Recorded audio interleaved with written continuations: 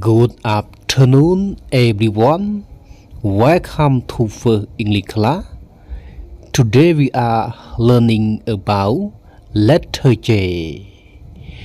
បាទសាយ័ន្តសួស្តីកូនកូនទាំងអស់គ្នា សូមស្វាគមន៍មកកាន់ថ្នាក់ភាសាអង់គ្លេសដំបូង ថ្ងៃនេះយើងរៀនជាមួយគ្នាអំពីអក្សរ J មុនចូលដល់នៃការសិក្សានៅមេរៀននេះ សូមកូនកូនទាំងអស់គ្នា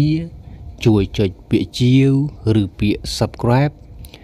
ដល់ Channel YouTube របស់លោកគ្រូម្នាក់មួយផងអូខេអក្សរ J អក្សរ J ស្មើនឹងអក្សរខ្មែរយើង គឺអក្សរច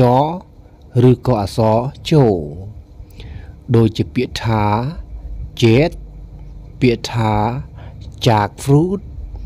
ពាក្យថា jeans jet jackfruit jeans jet jackfruit gin J for jet J for jet jet I can spell letter J letter E letter T jet ចឹង jet ប្រកបដោយអក្សរ J E T jet ប្រែថាយន្តហោះចំបាំង J for jackfruit J for jackfruit jackfruit I can spell J A C K F O U I T អានថា jackfruit jackfruit អានថា jackfruit jackfruit ប្រែថាផ្លែខ្នុរឬក៏ផ្លែខ្នុរណា J for jeans J for jeans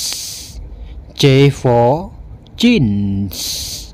jean I can spell J E A N S J E A N S អានថា jeans ប្រែថាខោកាវប៊យអូខេឥឡូវលោកគ្រូសង្ខេបឲ្យឡើងវិញអក្សរ J អក្សរ J ស្មើនឹងអក្សរចឬក៏អក្សរជោណាដូចជាពាក្យថា jade យន្តហោះចម្បាំង jake fruit ផ្លែខ្នុរឬក៏ផ្លែខ្នុ រ jeans ខោ cowboy